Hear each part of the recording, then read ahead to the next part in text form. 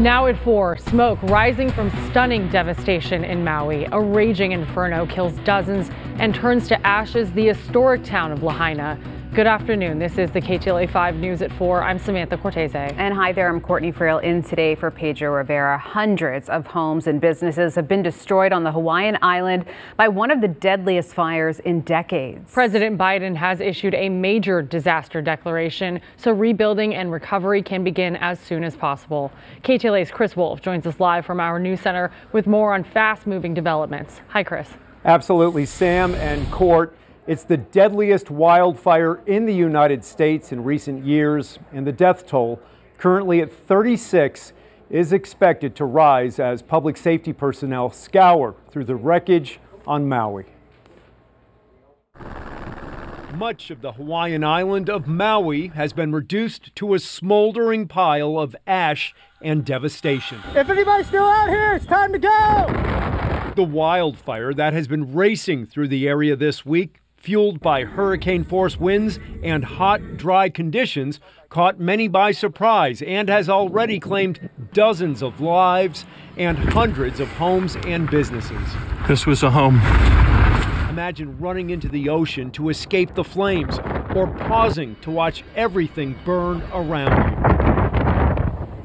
driving through, you couldn't see any structures of the buildings. It gone, looked like a bomb went off. All the, the cars with full gas tanks that reached the fire, they were exploded. And, you know, we, what we saw before we even knew what was going on was, like you said, the smoke, but then 70 mile per hour winds. We just thought it was really windy. The reason it spread so fast is there are reports of gusts of up to 85 miles per hour. So, you know, that, that is so fast. And that's why uh, Maui County had such a hard time doing containment of the fire. And because the winds were so high, we couldn't provide the helicopters to do the water bucket support. The historic town of Lahaina, a tourist destination dating back to the 1700s on the island's west side, has been leveled. As emergency workers gain access to charred neighborhoods, they say search and rescue is still the priority. Officials emphasize that many people have not been able to find their loved ones. Hawaiian officials say 11,000 people flew out of Maui on Wednesday, with possibly another couple thousand leaving Thursday. The State Convention Center in Honolulu will serve as a shelter for thousands who have been displaced. I mean, just the fact that it was spreading so fast and we didn't really know what was going to happen. Power is out across a wide area and cell service is down. Emergency managers are working to restore communications, distribute water, and bring in more law enforcement teams. The Coast Guard says it rescued 14 people who jumped into the Pacific Ocean to escape death. President Biden has declared a major disaster on Hawaii. The cause is still under investigation, and we have just learned that California is now sending 11 members of the state's Urban Search and Rescue Task Force to help locate any wildfire survivors in Maui. For now, reporting live in the News Center, I'm Chris Wolf, KTLA 5 News. Chris, it's awful. Thank you so much, though. Meanwhile, thousands of tourists are being forced to leave Maui because of the devastating wildfires.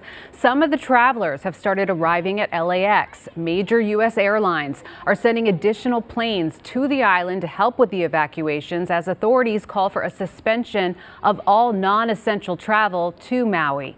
Passengers we spoke to this morning said they had to scramble to get off the island. But we thankfully made it onto a flight. It was like two or three hours delayed, so we just landed. We were supposed to land hours before, but you know, it was all pretty scary and hard, but you know, you get through it. You feel so bad for everybody that lost so much in Maui. We're just lucky to made it out. Um, but yeah, we feel bad for the people over there.